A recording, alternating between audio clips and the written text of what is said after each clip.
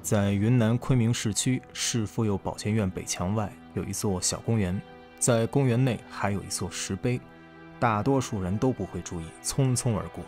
这座石碑可不简单，它可记载着大明王朝一段惨痛的历史。公元一六四四年，李自成率领大军进入北京城，随后崇祯皇帝在眉山自缢殉国。很多朋友认为啊。明朝的历史便已经终结，事实上并非如此。清军入关之后，在南方明朝的控制势力依然存在。当时明朝宗室在南方建立了多个政权，这段时间被称为南明。在三百多年前，南明最后一位皇帝就是在这里被杀。他被杀后，明朝皇统彻底灭亡。这里就是明永历帝殉国处。我现在是在昆明市区，大家看，这座明永历帝殉国处碑就在马路边上。前方有一座碑亭，是后来建的，碑亭内的石碑就是明永历帝殉国处碑。咱们靠近去看一看，在石碑上刻着“明永历帝殉国处”。这座石碑是在民国元年，云南都督蔡锷以三夷市民的名义为明永历皇帝立的。都督是我国古代的军事首长的官名，在民国初年，各省也设有都督监管民政。蔡锷，我相信多数朋友应该都听过这个名字。在一九一一年十月三十日，蔡锷就是在云南昆明起义，参与辛亥革命，带领云南脱离清政府。起义成功以后，成立云南都督府，蔡锷任都督。后来，在一九一五年，面对袁世凯称帝，蔡锷发起护国运动，起兵讨袁。一年后，在一九一六年，蔡锷因病前往日本医治，当年十一月八日在日本因病去世，年仅三十四岁。最后是葬在湖南长沙的岳麓山。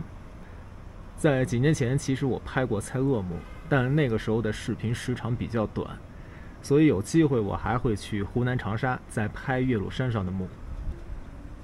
我刚才在拍摄过程中啊，有人好奇过来看这座石碑，不懂什么是三夷。其实石碑上的三夷就是云南省的代称。在清朝时期啊，先后在云南设置宜东道、宜西道和宜南道，道是地方行政机构。在清朝，地方行政机关分省、道、府、县，因此云南被称为三夷或三夷大地。在民国时期啊，云南人就喜欢用三夷代称云南省。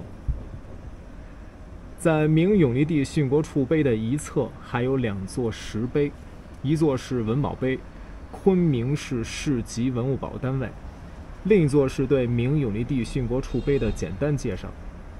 在碑亭后方，大家看，还有一座石碑，这座石碑是对永历皇帝的简单介绍。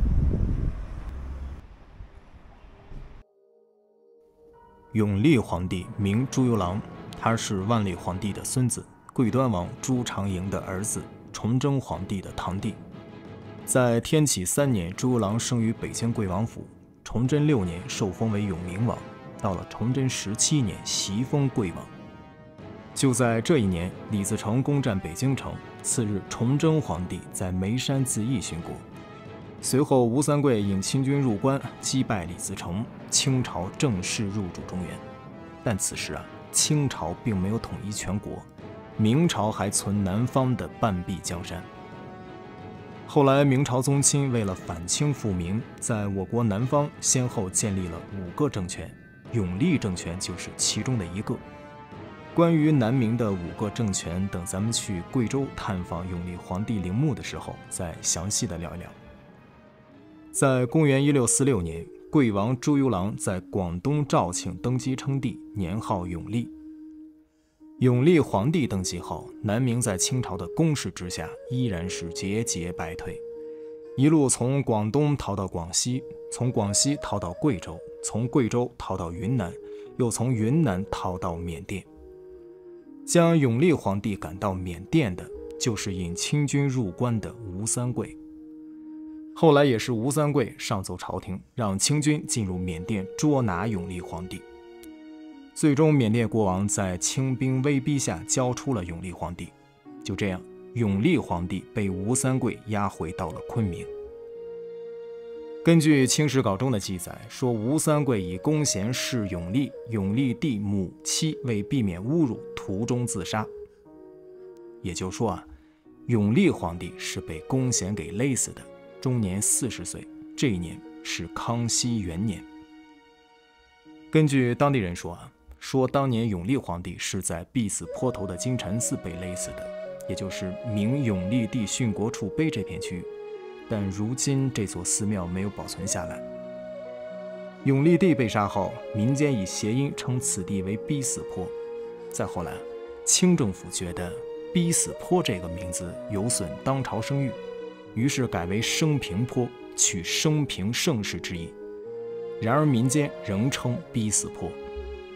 那永历皇帝被杀后，到底葬在什么地方呢？接下来，咱们就一起去寻找永历皇帝的埋葬地。我现在已经来到莲花池公园了，距明永历帝殉国处碑有两公里。据说当年永历皇帝被杀后，就是葬在这片区域。如今在莲花池公园内，还有永历帝被杀后卧倒在地的塑像。接下来，咱们去找一找。我看见了，大家看，前方就是永历皇帝的塑像了，咱们靠近去看一看。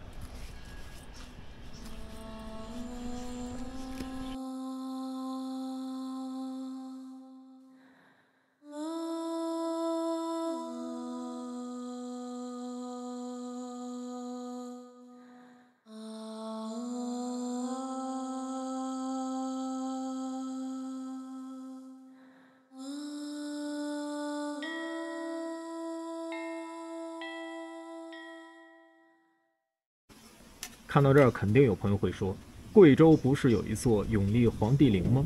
怎么他又葬在昆明了呢？贵州那座永历皇帝陵，有的说是衣冠冢，也有说是明朝旧臣在昆明收集了永历皇帝的遗骸，然后安葬在了贵州。关于这个问题，等咱们去探访永历皇帝陵墓的时候，再详细的聊聊。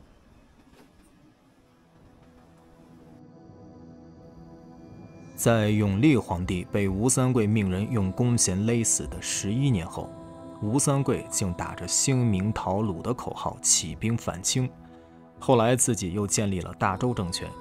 关于这段历史，咱们在探访贵州吴三桂墓的时候已经聊过了，就不再重复了。吴三桂的失败，从他杀掉永历皇帝那一刻就已经注定了。